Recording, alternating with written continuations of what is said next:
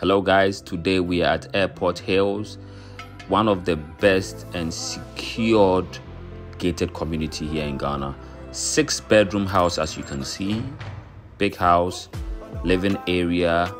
You have a dining uh, area as well. Yeah, as you can see, that is the kitchen. The kitchen comes with a storeroom as well. Bedroom, washroom. We are going upstairs visitors washroom one bedroom there with the washroom as well. All the rooms are en-suite. Yes nice clean washroom.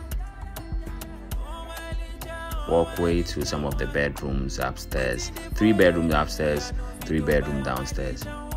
Nice and beautiful walk-in closet as you can see. Master bedroom look if you want this property just give me a call. The telephone numbers will be on your screens Billcotey bye